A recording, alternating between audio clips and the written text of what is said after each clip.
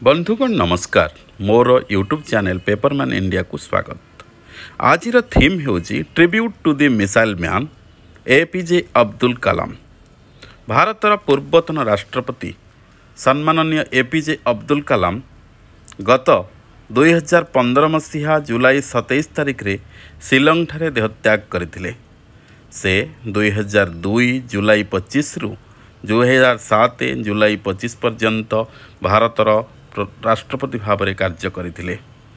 APJ Abdul Kalam ତାମିଲନାଡୁର ରାମେଶ୍ୱରମଠାରେ ଏକ ମୁସଲମାନ ପରିବାରରେ ଜନ୍ମଗ୍ରହଣ କରିଥିଲେ ଉଣେଇଶହ ଏକତିରିଶ ଅକ୍ଟୋବର ପନ୍ଦରରେ।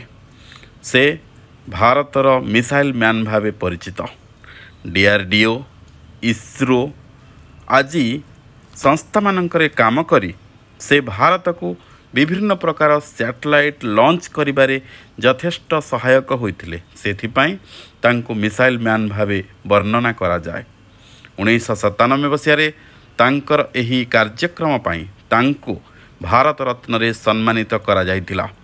ଏହି ମିସାଇଲ୍ ମ୍ୟାନ୍ଙ୍କ ଦେହତ୍ୟାଗ ପରେ ସାରା ଭାରତର ଗଣମାଧ୍ୟମ ତାଙ୍କ ଉପରେ ଅତ୍ୟନ୍ତ ସୁନ୍ଦର ଭାବେ ବର୍ଣ୍ଣନା କରି ଖବର ପ୍ରକାଶ କରିଥିଲେ। ଓଡ଼ିଶାର ଖବରକାଗଜ ମଧ୍ୟ ଏଥିରେ ପଛରେ ପଡ଼ିନଥିଲା।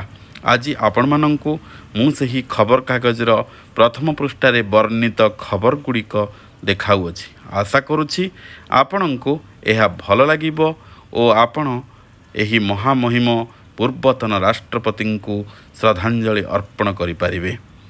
ଆଶା ଆପଣଙ୍କୁ ଭଲ ଲାଗିଥିବ।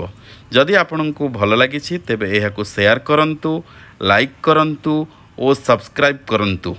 ଧନ୍ୟବାଦ ନମସ୍କାର ଜୟ ଜଗନ୍ନାଥ।